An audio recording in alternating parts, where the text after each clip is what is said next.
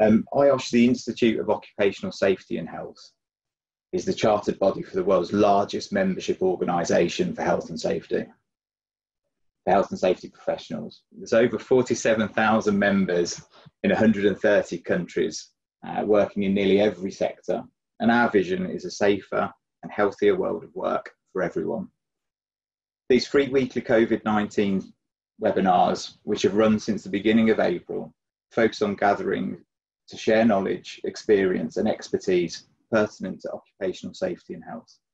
COVID 19 and safe, healthy, and resilient workplaces. They cover many professional, practical, and ev- evidence based aspects of managing occupational safety and health during the pandemic. Today is our 17th webinar in the series, and we're really pleased to have the IOSH Future Leaders Steering Group joining us today. As an institution, we're dedicated to supporting the next generation of OSH professionals and something which plays an important part of our Work 2022 strategy. Our Future Leaders Steering Group members on the panel today play a key role in ensuring IOSH delivers through networking opportunities, skills development, and providing access to technical knowledge and careers advice, supporting our members of our Future Leaders community.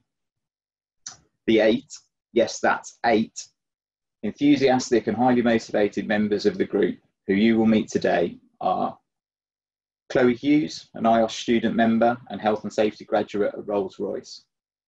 Hayley Wright, an OHSE audit and assurance lead at the Ministry of Defence and a Tech IOSH member. James MacPherson, a graduate IOSH member and the HSE manager for the Glass and Glazing Federation. Jason Kamalu, a chartered member of IOSH and health and safety manager at Wacott Limited. Liam Kelly, lead SHEQ advisor at Actavo and a graduate IOSH member. Philip Lancashire, the Safety and Health Environmental Manager for Building Product Design Limited and a graduate IOSH member. Sunit Atwal, a Tech IOSH member and a London Regional Health and Safety Manager for Unite Students. And last but by no means least, we have Robert Jukes, Health, Safety and Environment Manager for Wax Lyrical, who is also a Tech IOSH member. Thank you to the steering group for joining us today. If you want to know how you can get involved with the Future Leaders community, and I encourage you to do so, um, please follow the link that's posted in the chat box, which will give you further details about the Future Leaders community. So, our first focus talk is about the future of work, including well-being and the challenges since COVID-19. Uh, I'd like to welcome Philip, Chloe, Jason and Robert to lead on this first panel discussion. COVID-19 has seen four key impacts in the world of work, deglobalization, digitalization, corporate consolidation, and the wellness of the workforce. So we'll discuss these areas and the impacts of the role that the OSH professional has um, in navigating this change in the workplace. Um, and I'll start with Chloe and the impact of COVID-19 on the wellness of the workforce. Hi, Stuart. Thank you so much. Um, yeah, so from a health and well-being perspective, uh, we've seen a lot of change recently with the way we live. Um, a lot of people tend to be working from home a lot more, um, and that brings in a couple of perhaps well-being um, issues. So there's definitely an increase in sedentary lifestyle, but also access to convenience and fast food, things like Just Eat. You can be sitting at home and order a Just Eat on your lunch break rather than going to a canteen or preparing your lunch beforehand, but also social media and technology. Um, there's a lot more going on. We're constantly on computers if we're working from home um, rather than walking around shop floor perhaps. Um, so that has its own kind of uh, impact then on our mental and physical health more likely to struggle getting to sleep and potentially struggle with insomnia, poor nutrition, leading to potentially obesity as well, and an ability, uh, inability to switch off then from from our working life. So especially when our computers are going off frequently and and our phones as well, and also potentially a lack of exercise. So those can contribute a lot to non-communicable diseases such as diabetes, cancer, and cardiovascular disease. Also, poorer mental and physical health um, potentially burnout as well. Um, and that can lead to our workforce being disengaged, lack of productivity, um, more likely to, uh, for, to take risks at work, um, especially if they're lacking in sleep. um, and trying to get things done fast, and also an increase in presenteeism and absenteeism later on. Um, so I think it's really important that as as professionals we look at um, promoting health and making sure that we're reaching out to our uh, colleagues and also our employees um, and uh, reinforcing then positive health behaviour. So making sure that we do allow our employees to take time out um, to go for a walk perhaps, encourage walking meetings if the opportunity's there um, and, and try and make healthier lifestyles more accessible to our employees. And, and on a personal level, how have you navigated some of those challenges that you so eloquently described um, in delivering your role um, in your workplace? Personally, I do enjoy a walking meeting if the opportunity is there. Um, and my workplace is really willing to allow that to happen. Um, when I'm working from home, I definitely take time out to go make myself a meal as well. Um, and I'm very strict on when I finish my workday, my phone gets turned off, my laptop gets turned off, and I try to um, make sure that if I do have a room available, that's the room that I work in, and then I only work in that room. I wouldn't sit on my bed um, of an evening and type away on my laptop because it can get quite confusing for you then um, about where's work and where's home. I think that's a challenge quite a lot of us uh, face, particularly in the in the current climate. Um, Philip, I'm really interested to understand how the Future Leaders Group can support our, our members overseas. With deglobalisation, there is a call for local knowledge in local areas, and I wonder um, how the Future Leaders Group's helping our overseas members. We can do a lot to help overseas members for IOSH. I mean, one thing we, we obviously need to address is that COVID is, in, my opinion, not going away anytime soon. It has become a part of daily life and will be part of people's daily life for probably a long time now. Um, there has been a massive emphasis on health. Um, and I think what we have to do as, as professionals and also as part of IOSH is, is build on that momentum. Um, health has suddenly t- surpassed safety in a way um, and it's become a massive emphasis for everybody to focus on. Um, we have to keep going and keep making sure that we're talking to the people that are working for us. You know, if people are working from home, we need to be making sure that we're keeping contact with them. As Chloe said, there are a lot of different health issues that people can develop, and one of those big things is obviously stress at work. Those that are working from home, they, you know, they may be struggling. Normally, they're in the office nine to five. They're now working at home. They're on their own it's, it's something where we have to keep contact with them.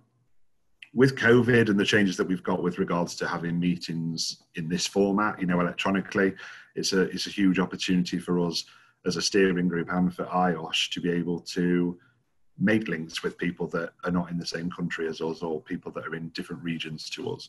Um, it's an opportunity for us to be able to get together in better ways, share best practice with each other, talk about how we're controlling COVID, talk about how other people are controlling COVID, and look at what we can do to ensure that we're doing it in the best possible way and trying to keep the exposure of it down as much as possible.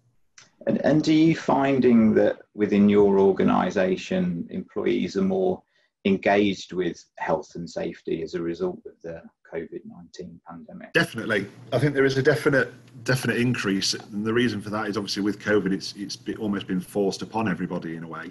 Um, people are really concerned about their own personal health and, and, and, COVID itself. So all of a sudden there has become a, a larger increase in health and safety.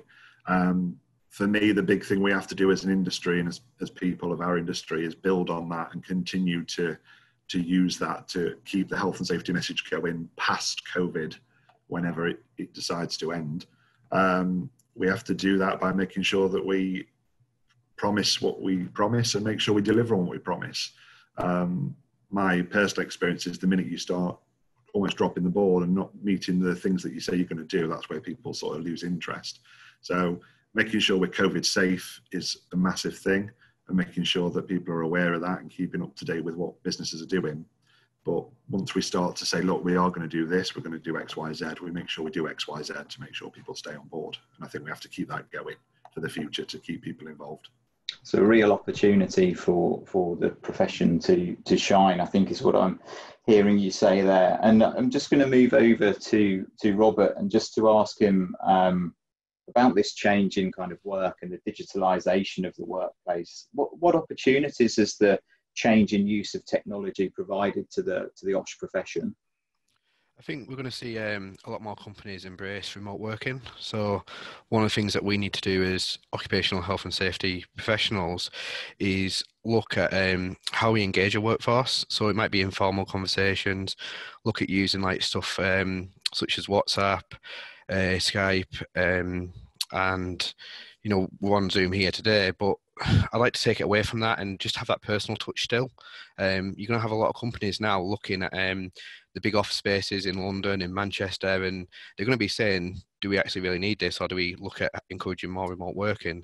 So it's embracing them new types of technology and the um, ever increasing. You know, I know we touched on it earlier t- about the hours in the day um, being a limit on that. But I think we're seeing more of a connected world. So sometimes you have to take calls outside of your normal working hours. How do we embrace that to actually, there's a bit of give and take to employees. So how can, if you're in a six o'clock meeting in the morning, how can we then shorten the working day to answer that? Yeah, and safety is a 24 7 profession. Um, you know, you, are not in control of when people may have a need for your services. So, how do you navigate that challenge? I think it's about making sure you've got a um, well-informed workforce. You've got um, a limit there, so obviously you need to have give and take. Um, so if you've got someone working in maybe, um, you know, maybe if you're up at say early in the morning at six o'clock to do a talk, then you shorten the working day for them, or you allow flexible working around that. So you might say, right, um, six o'clock in the in the morning, early meeting, but by midday, that's your day done at one o'clock, two o'clock in the afternoon. Excellent. Thank you very much. We really appreciate your your input there. Um, Jason, I'm, I'm really interested in in you know we've spoken about this kind of corporate consolidation, people not using the central London, Manchester, Birmingham. Forgive me if I miss other big cities, um, and also big cities around the world. But how do we ensure that the the core principles of the OSH profession continue to be maintained whilst balancing the provision of a COVID safe workplace? Um, thank you very much, um. So um, the core principles of um, the occupational health and safety, as we know, is we want to provide um, a healthy uh, and safe working environment. We want to manage OSH risk. Um, we also want to prevent incidents which could lead to um, which could lead to injuries and uh, fatalities, or also lead to or occupational health diseases and, and so on. So um, with the um, with the COVID pandemic, it has really uh, impacted on the way we work and, and on the future of work. Um, and um, that would mean that we'll, we'll need to be more um, innovative in um, and resourceful in how we uh, manage our um, OHS risk within our, our, organization. Talking about being resourceful, um, this um, webinar is one uh, means we can get information as um, OHS professionals so that we can meet up with our responsibilities in managing risk. Um, um, most OHS professionals focus on, on, on safety, but uh, going forward, there will be a need for us to um, refocused on occupational health because um, there is a there is um, a link between public health and occupational health. As we can see, the public health disrupts everything, and also it can also affect um, um, how we are effective in our workplace, especially occupational health. So um, for us, we would would want to apply all the all the measures, risk management measures um, we want to identify the OHS risk, especially which risk related to um, um, the COVID. So it, it, will need to update our OHS um, risk register to include um, COVID factors and would also have to do proper evaluation of what controls we have in our workplace with respect to that. And then we'll also need to implement those these measures so that we all can um, we, we all can remain safe, even for our employees who work um, at home, not necessarily in the office, since we would not be having big um, office spaces in Manchester or, or in Lagos or in Dix as well. And, you know, um, if you were not part of the Future Leaders Steering Committee, but you were at the beginning of your OSH journey, um, where would you be directing people to get um, some help and support, you know, or, or, or to join this community to, to, to, to gather that? Would you have a message for people who are considering joining the Future Leaders Group? Oh, sure. Um, um, I, I, think IOSH, um, IOSH, IOSH um, has been really resourceful for a lot of OSH um, professionals. Um, for example, you look at the recent um, um, IOSH competency framework talks about technical, core, and behavioral. Um, one thing I appreciate from that is it, it, it talks about strategy and planning. Here, um, the, OECD, the young, new and aspiring um, OHS professionals would want to um, have a look at that and see um, how they can how they can build their OHS career, um, taking taking those elements of the um, of the um, the competency framework. That way, it would help them grow, and also it would also help them to be very um, relevant in the profession, especially with getting up to date in, information on on the on the profession and that's what IOSH is all about advocacy collaboration and support and we as the future leaders steering committee were very happy to um, be part of that project the work 20, 2022 strategy perfect what a, what a great advert for IOSH can I elaborate on that? Um, yeah, of course. I think uh, another thing as well is the mentoring scheme. There's a really good mentoring scheme um, that IOSH actually have going at the moment. So I recommend anyone that's looking at joining the IOSH Future Leaders Program look at uh, joining the mentoring scheme as well. And also, there's some going to be some targeted content towards the IOSH Future Leaders, and there's a forum online as well for the IOSH Future Leaders. Perfect. Everybody is uh, very well versed on on the key messages there. Really good input there from you, Robert. Thank you very much.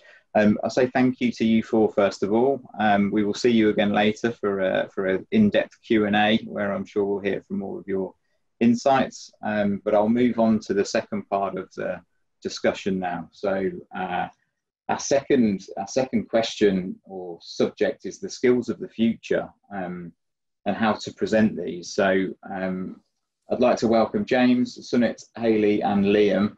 Um, so today's skills won't match the jobs of tomorrow, um, and therefore the value of lifelong learning and the mechanisms to deliver these has never been so important. So, as our future leaders, what, what do you think this means for for the OSH profession? And I'll I'll start with uh, I'll start with you, Sunit, please.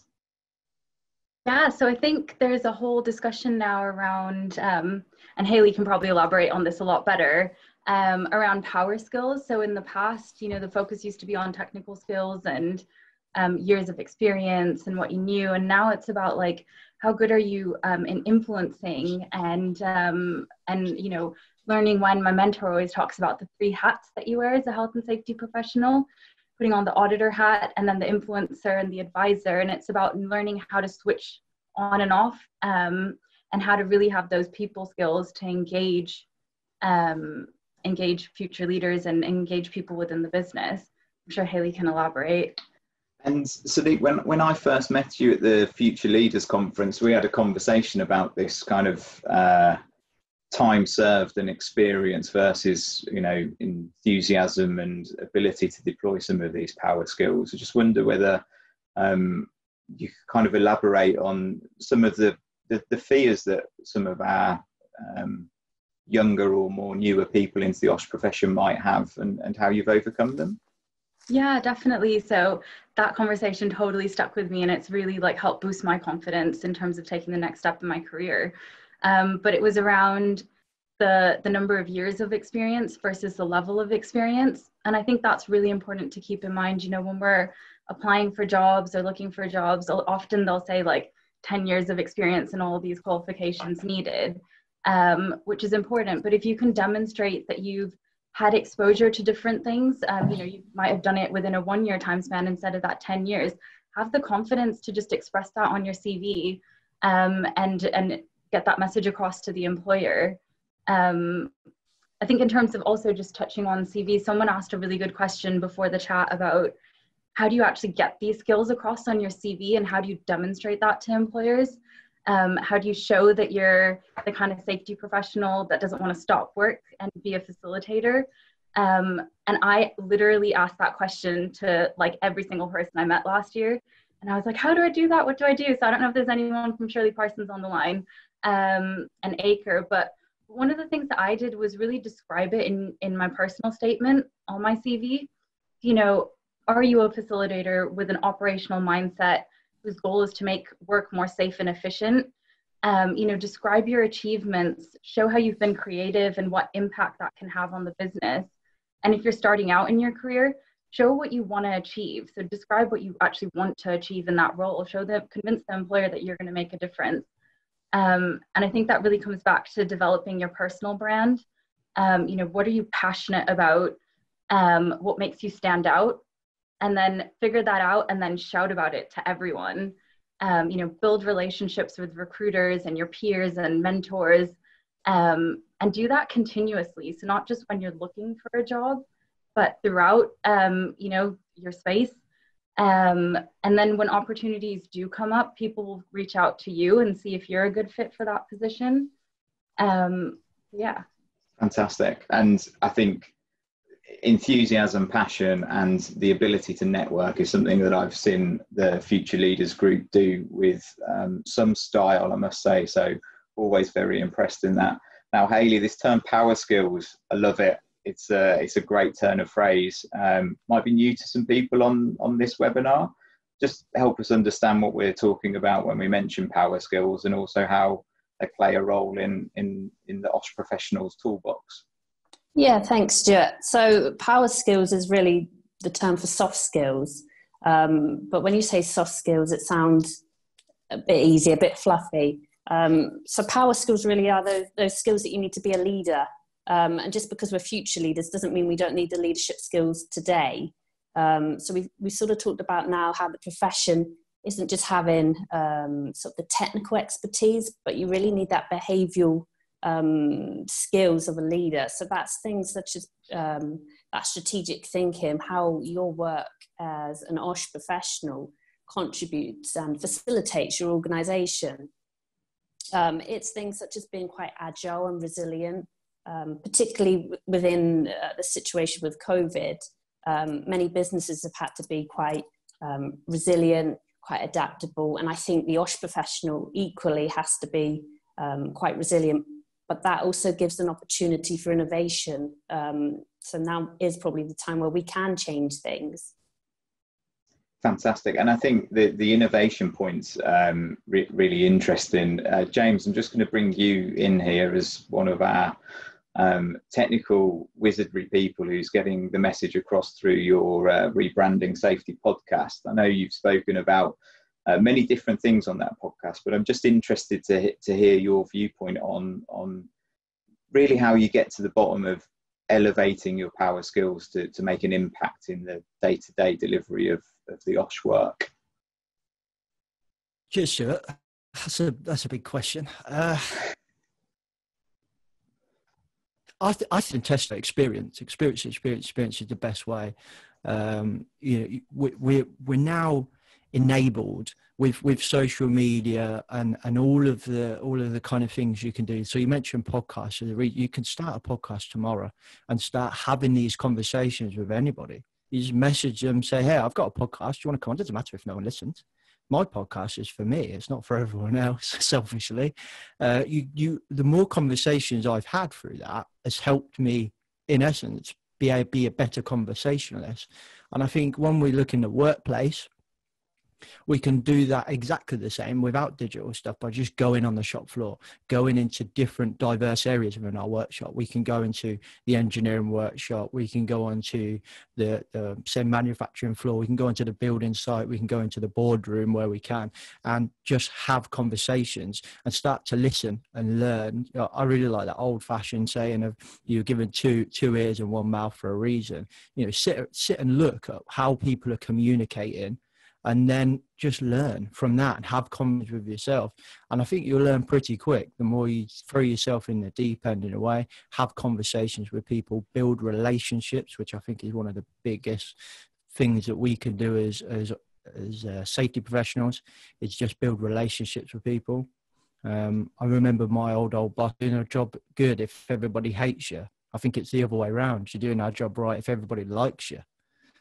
Yeah, and I think the, the key thing that, that I would say back is, you know, if if people are coming and talking to you about safety, then you're doing something right. If people are hiding things and not talking to you about safety, then then you've got a problem. Um, Liam, I'm just really interested from from your viewpoint. Um, we spoke about the competent, the behaviour and competency frameworks that IOSH has put out, and the, the kind of 69 things that are that are there for us to tackle. As a future leader, do you zero in on any of those in particular, or are there any that you think provide you with a challenge and, and you'd benefit from some of the um, wisdom that was in within the IOSH membership to, to help support the development of the future leaders in some of those areas? Yeah, well, look, I mean, as as a future leader, I suppose I'm going to draw on my on my own experiences. I mean, the bread and butter stuff is going to be the, the CPD and, and continuous development, but that's going to be for for all of us. That's that's not going to change.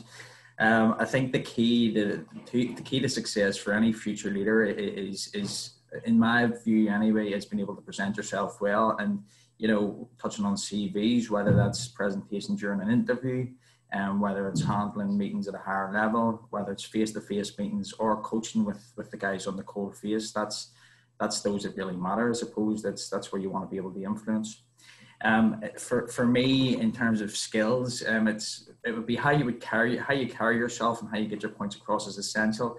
So in terms of the actual framework itself, there is some some things that I probably need to look at. Um, and with that in mind, one of the key skills for a future leader is is critical thinking and the ability to self-assess. I suppose that's going to be the good and the bad. Um, I'd be the first to admit that, that when I joined this future leader steering group, I was relishing more the face-to-face aspect of, of, of the whole um, the whole journey. Um, I'm now having to sort of develop my online presence and, and sort of try and get across points that I would normally be able to control with a bit of body language or or, or, or sort of slight gestures that, that, that I've learned through the, the train the trainer aspects of it. So for me, uh, the, the competencies are a good way to get people started. However, you know, we all still need to focus on on the basics that make people people sort of interact with you, and that's that's getting your point across. I mean, one thing that I've learned in a short time with with this team and the future leaders on board is that one thing we do have in common is that we can all certainly have a chat. Um, we can certainly all carry ourselves well, and you know, even if you're right or wrong, you know, the, the way I look at things is don't be afraid to be confident and approachable.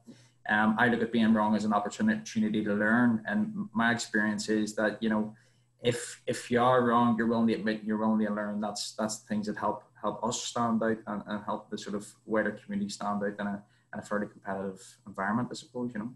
Excellent, and and it's so exciting to hear hear you guys say say that. Um, I'm going to come to you each in turn now. I'm really interested in to to understand what's the one skill that you think you'll sharpen as a result of being a member of the Future Leaders Steering Group. Um, I'll start with you, James, um, and then I'll work round through Hayley, Liam, and Sunit, if that's okay.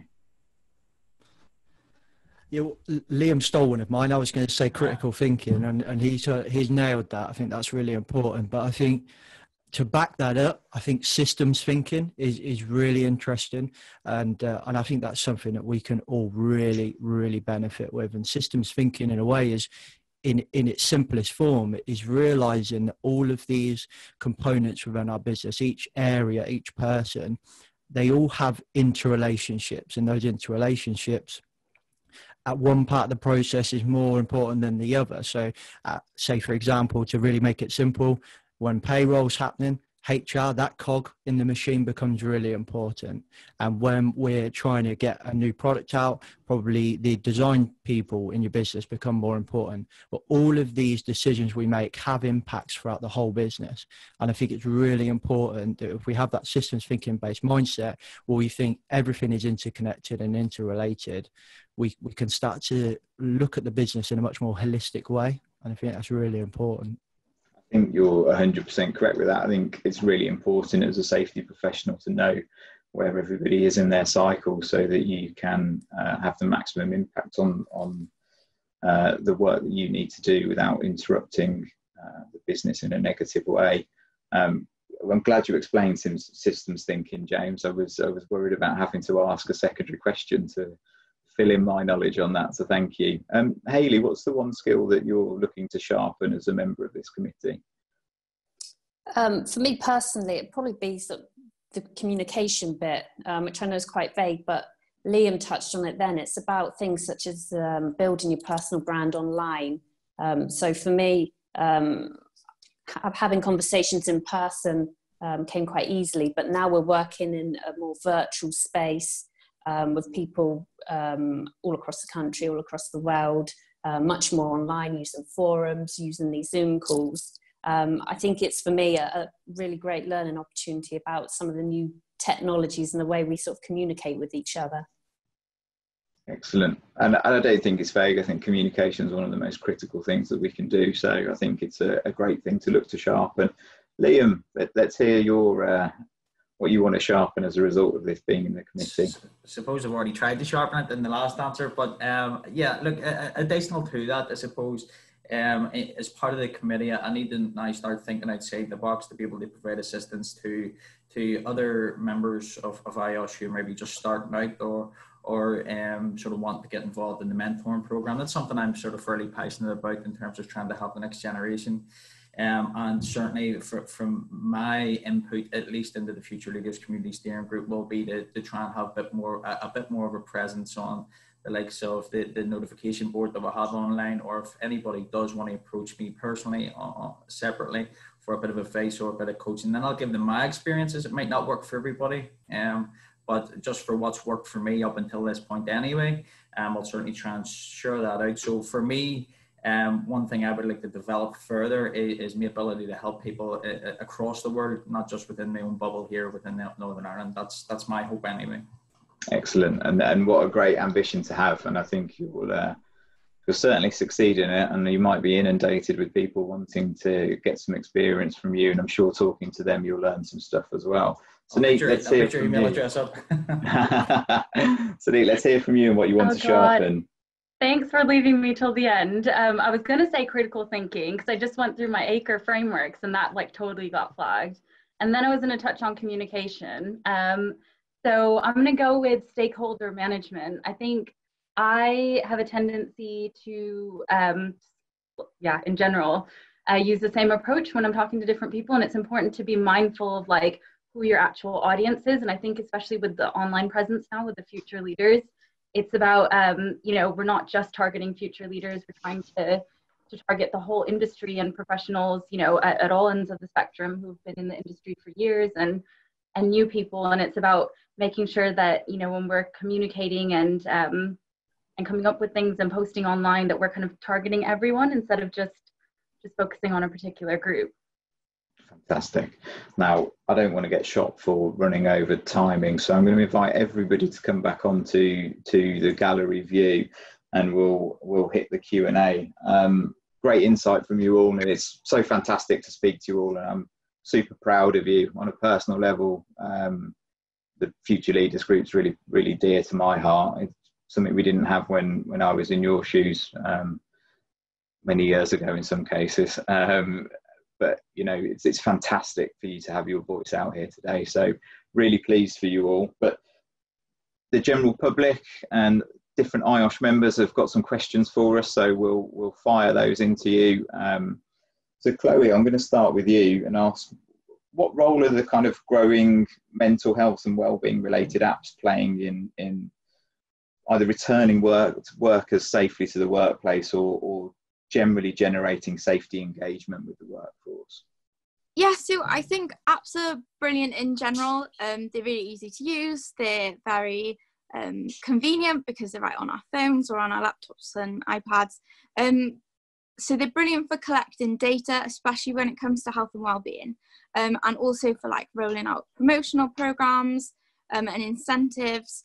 However, there are some kind of negative sides to app use. So obviously, an anonymous data. Um, if someone were to disclose that potentially they they have a significant distress with regards to um, their mental health or their physical health, it's really difficult for us to tailor something um, that's specifically for them. Um, and that can always be a challenge and also really hard for us to then give them the support that they may re- may require if we don't know who they are.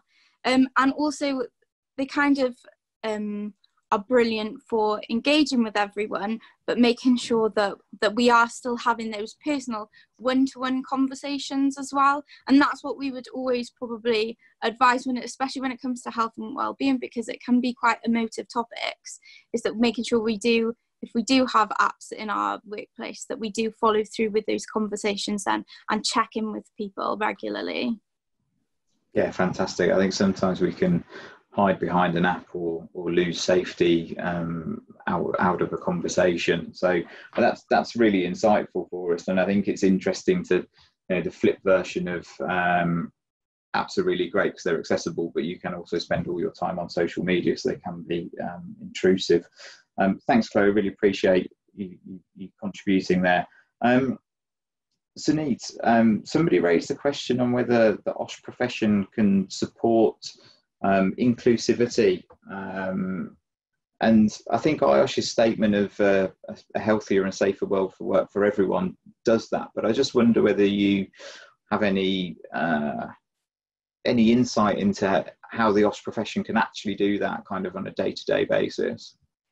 Yeah, definitely. I think um, we can definitely use the health side of health and safety to develop well-being strategies as part of DNI programs as part of diversity and inclusion programs to explore well-being challenges within various groups from like ethnicity and age to gender, sexuality, um, to, to kind of come up with initiatives to be more inclusive. Um, you know, we have lots of guidance on stress management and, you know, we recognize that stress is multifactorial, that it can impact people, you know, outside of work, with issues outside of work and within the workplace. Um, and, you know, with the recent Black Lives Black Lives Matter movement, you know, what have we actually done as, as safety professionals within our businesses to check in on our employees and see if they're okay? Um, I think in relation to safety, um, it's important that we're mindful um, and ensure that our provisions support ethnic diversity. So, for example, in relation to RPE, um, so I'm Sikh and men in our religion um, have beards. So, you know, do we do we have suitable equipment for employees with facial hair for religious reasons? Um, you know, and, and moving forward, like also are we mindful of fatigue and, and other risks during fasting periods if people may be fasting for like religious reasons.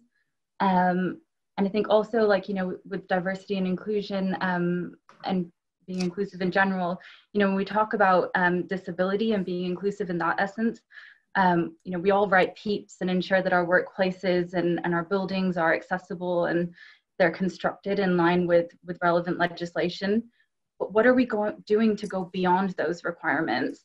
You know why can't every new kitchen or office be totally accessible? And i think as a profession we're still quite reactive in this space. And i think we have a real opportunity to drive and get ahead of the curve to make our workplaces and work activities more inviting and inclusive. And i, th- I think it's, uh, it's it's very it's not just topical, but I think you know if you look at the long term trend, I think if the safety professional has a, a, big role to play in in pushing the diversity and inclusivity agenda, and uh, I think there's many things that we can look at that um, th- through our workplace. So I think great great bit of insight from you there. Really appreciate really appreciate that, James. I can, can I just add to what sorry, uh, this is I'm, I'm, desperate to just say one thing that went to back up kind of what Sunit's saying. There's an amazing book out there by Matthew Syed that essentially talks about cognitive diversity and and changing the way we look at diversity instead of just like you know a nice thing to do and look at the benefits that we can actually get from having different minds that are influenced by different cultures and they think in different ways and that's just going to help us become so much more innovative and i recommend every safety professional to read that book it's outstanding what's the yeah. book called uh, it's called Re- rebel ideas by matthew syed Perfect. Okay. Well, there's a recommendation for you, everybody. And I think it's very interesting that diversity of thought. Um, I've got dyslexia, and I'm pretty sure it helps me think in a completely different way to to some people whose brains are uh, quote unquote wired correctly. Um, I'm going to move on to to to Philip here and, and to ask him. Uh, you know, we did start this around the kind of COVID nineteen uh, pandemic, and and whether you've got any advice on how companies can kind of mitigate the risks of COVID 19 and, and help employees feel comfortable coming back to work? Yeah, there's lots of things that businesses can do. I think one thing we always have to mention is that it's it's, it's an impossibility to try and be totally COVID free. You know, with the, with how long it takes to to manifest itself and things, it's always going to be almost an impossibility to control totally. But simple things like temperature checks for people coming into the business, um, implementation of social distancing across your sites, which hopefully can be achievable in key areas, following the guidance with regards to things like one meter plus. So if you can't do two meters, looking at things like screens or dividers or face masks and, and making sure we can put those things in place. One thing we're doing here is um, something we call hand sanitizing stations. So lots of hand sanitizer, masks, gloves, surface wipes and things that are all available from stations throughout the site. Um, return to work inductions so that people who are coming back to the business from, from furlough periods and things understand the changes that are going on. So people get an understanding of what's been implemented, what's changed, how things are different, and how to, to behave in the workplace in a, in a safer way. Um, encouragement of people washing hands, of course, um, and making sure that we communicate with people as much as possible. I think there has to be a bit of understanding as well, obviously, with people coming back from furlough and things like that, that there are people out there that have not had to social distance, people that have been working from home and not going out, or people that have been shielding, those sorts of things. Some for those people, sometimes social distancing is something that's fairly new, and it's and it's giving them the opportunity to say, you know, it's going to take a couple of days to possibly get used to if you're not used to doing it, um, and supporting them through that um, and making sure that they're okay. And as we talked about earlier, the main thing is people that are working from home is we keep on top of them, keep contact with them, and and make sure that they're supported with what they need working from home. Yeah, and it's a challenge. I think you, the the empathy that you need for the varying situations and level of uh, either you know risk adversity for people who don't think it's a big issue and the people that are that are quite hypersensitive to it. So it's a it's a fine balancing act. Um, I'm gonna I'm gonna keep you on slightly longer there, Philip, and just ask um, just ask you a bit of a killer question here. So, what's the benefits of being an IOSH future leader? Um, well, the Future Leader Group's set up to, to do exactly almost what it says on the tin. It's there to help the future leaders and support the people that are coming into this industry, possibly as first time, or people that have not been in the industry for very long. Um, and it's to help us and to help us understand the issues that we have as, as people within the industry.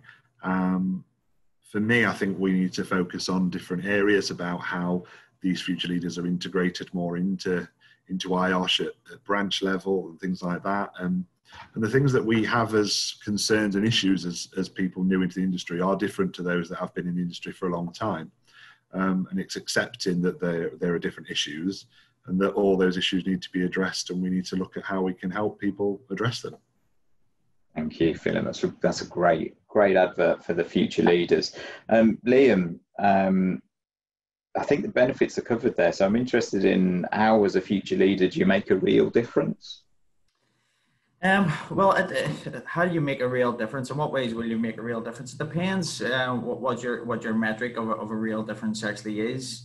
So for me, a, a, real difference is is maybe changing a, a, certain behaviour that allows a person to go home safely to their families and, and not consider completing an activity in that way again.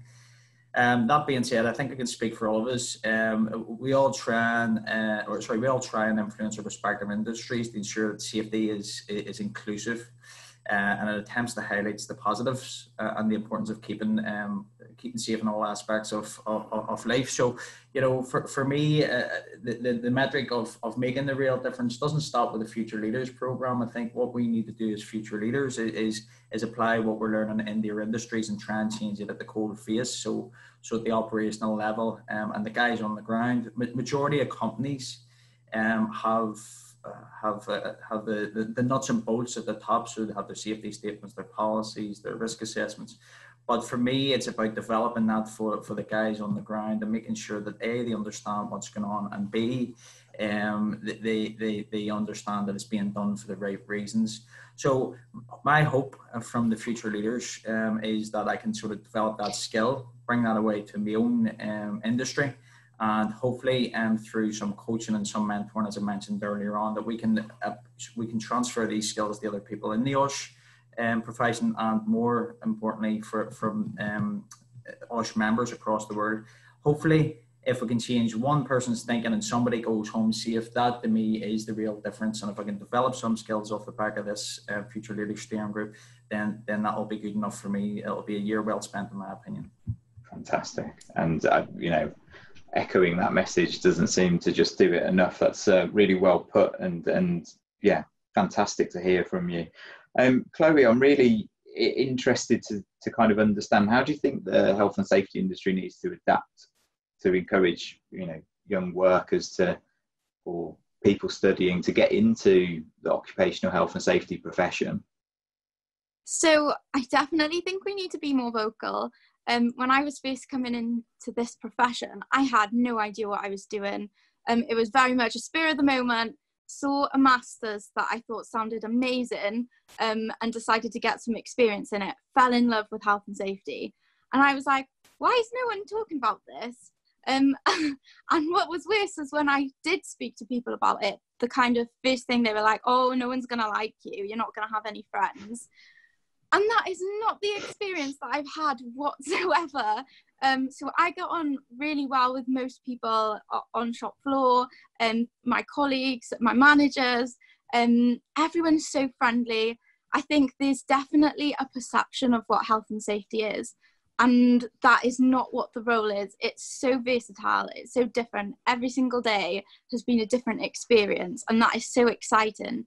And I really wish that somebody had told me about this career option before I waited a couple of years and went through one degree and and didn't realize it even existed.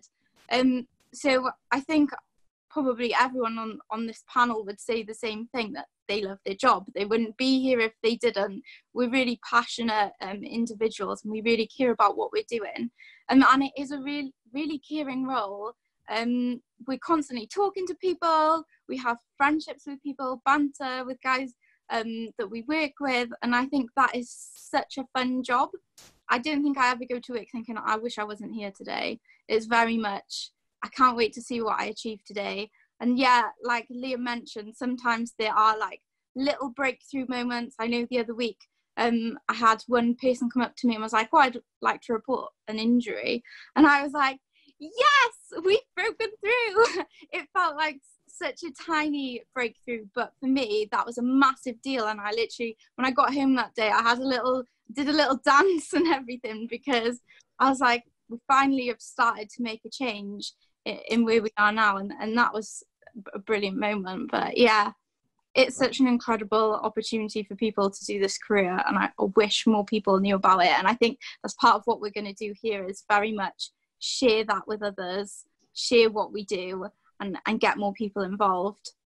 Fantastic. And I'm, I'm, I'm certain that this webinar going out will, will help uh, with that. And also, I think, you know, you guys do shout very loudly uh, across all different forms of media, as I found out when my LinkedIn notifications went bananas when you were promoting this. So, uh, you know, all the power to you.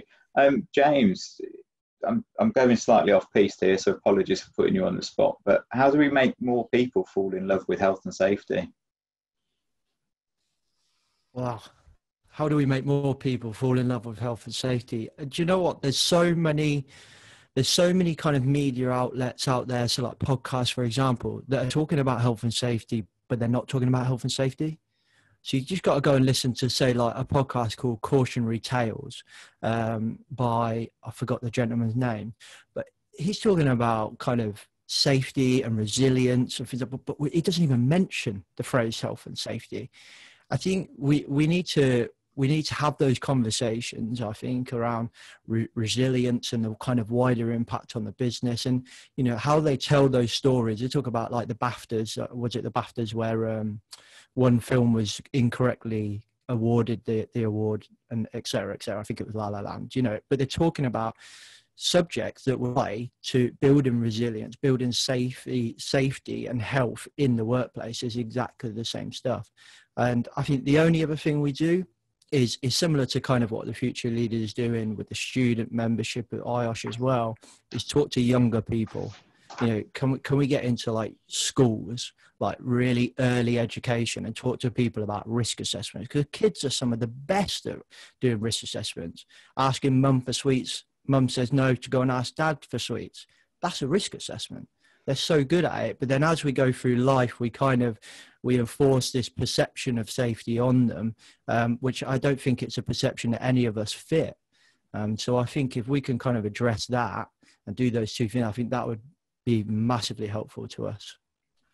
Right, thanks, James. To that, Oh, no. um, one of the things that I'll do is um, I recommend that we look at um, stuff like TikTok, uh, YouTube, and getting out on them platforms that kids use as well. And we can't just be, you know, doing LinkedIn because there's no kids on LinkedIn. They're all on the apps, so we need to get out on the apps, get a presence there, get some campaigns going. Stand by for Robert's TikTok debut. Uh, Just to add coming to what, shortly. just to add to what James was saying, I think also as a profession, um, we advertise health and safety or OSH as like a technical field. So everyone's like, you have to be super technical and really detail oriented, but really, like, there's so much scope for being creative. And often people who have like a creative mindset are like kind of steered away from it. Um, but I think that's something really important to emphasize to like young people trying to, you know, think about their career options. If you're creative and you're passionate and you like performing or talking in front of people, this is the profession for you. Fantastic. Hayley, um, just kind of building on that. So, how do we help people that may be looking to change into a health and safety career? Um, how do they thrive in that new world? I think it's important to realize that the jobs they've done before can actually help them with their health and safety role. I think the challenge that career changers sometimes have is not having the relevant health and safety experience or qualifications. But as we've talked about all throughout this uh, session, it's actually the other skills that transfer across these leadership skills and these, these power skills. Um, so, really, uh, my advice would be to use them um, to your benefit and really show what it is you're bringing to the table. Um, we've, we've talked about as well having a mentor um, and just reaching out. So, the, the Future Leaders Network is a really good network just to talk to other people um, who have gone through the same things as you, perhaps changing careers, get their advice, get their insight, um, and engage with, with us as well. Um, and I also think having something of a plan, um, perhaps eventually to get some qualifications, um, but where you want to be, why it is you want to be in health and safety as well. Um, and I think that can then really help target um, where you want to apply and, and tailor your CV for that. Yeah, and I think Sunit mentioned it, having a really strong personal statement about what you want to achieve in, in safety is a really powerful, powerful thing to do. Jason, I'm sorry to leave you to la- to last, um, but I, I'd just like from from you just to uh, you know what are the opportunities that the current situation we all find ourselves in present present the OSH profession um, you know from a negative point of view or from a positive point of view what do you think's out there that we can really latch on to to you know bolster the reputation of the OSH profession Okay, thank you very much. Um, your question reminds me of at the ISO 13,000, 31,000, that's about risk management. Now, the COVID 19 factor brings risk, but it also brings opportunities. And when we talk about opportunities, we talk about positives. So, um, if you ask me, I think globally we have a dearth of um, experienced and um, qualified OHS professionals. However, with the with the with, with, the profound effect that COVID nineteen has, it, it brings an opportunity for more organizations, for more institutions, for more governmental agencies to require the services of OHS professionals, and that is good too because, uh, for example, in the region where I come from, we have very few OHS professionals in organizations. Maybe because um, that's because of regulation sometimes. So this is an opportunity. It would it would it, would- it would require that more more organizations would want um, um, HSE professionals to play a very key role in driving health and safety because OH occupational health is very uh, closely related to public health. So the, the, an OH health professional will definitely drive um, the um, principles of public health, and that's what's happening here. Also, um, we also have the opportunity to um, to sell the value of um, of health and safety. And talking about the value of health and safety, we bring um, not just about loss prevention, but um, a good organization that has good policies, that has good um, good um, um, um, OHS strategy. It helps the business to, to, to grow. It makes it more uh, more more attractive to investors because it shows that they, they, they have that moral obligation to protect employees as well as visitors. So um, great opportunity that the COVID-19 has actually brought for. And, it, and for, for new and aspiring professionals or for professionals, I see some of the questions, people asking, um, how do we implement this? Well, if your employer has, hasn't, um, hasn't approved um, your, your request on your budget, this is a good time because the COVID-19 mandates us to do some things. For example, it now requires that we have, uh, we now have to do, um, uh, we don't have to track um, uh, operational health parameters. For example, in my workplace now, for all employees, we have to track um, temperature, we have to track, um, um, we have to track um, saturated oxygen uh, pressure, we have to track those factors. So health monitoring becomes important, and then the organization gets to invest in in in that. So that's an opportunity if you if you if you ask me to. And also, uh, perfect. So I'm really sorry to cut you off, Jason. I could talk to all of you all day long. Um, unfortunately, we've only got an hour, and I, I need to wrap up our webinar. It's been a fantastic insight from the Future Leaders Steering Committee, and um, more power to you. Um, as I said earlier, really, really proud of you all. Thank you very much for your contributions. Um, I'm sure everybody has really enjoyed uh, the webinar. I hope you have. Let me remind you that its own COVID 19 resource page. Um, it's full of advice and guidance. Um, this and the links to the Future Leaders community will all be included in a post webinar email. Um, and as I've mentioned before, there's a link to the Future Commu Communities page on the IOSH website. It's also been posted in the chat box. Um, again, many thanks for your participation. Thank you for those that have listened. Um, in the meantime, um, there will be a recording of this that will be emailed to you all, so please pass it on. Let other people uh, uh, see this. Um, let other people share the knowledge. And um, I'd just like to ask you back next Thursday for the next webinar. Um, keep an eye on the COVID 19 webinars page and all of our other IOSH channels. Um, you'll see all the further details there. From me to you, I'm really grateful for your um, participation, all of the steering committee members, and for the IOSH audience out there. Um, very nice to be able to talk to you all, and I hope you enjoyed the session. And we'll be with you again next Thursday for another insightful webinar. Thank you very much.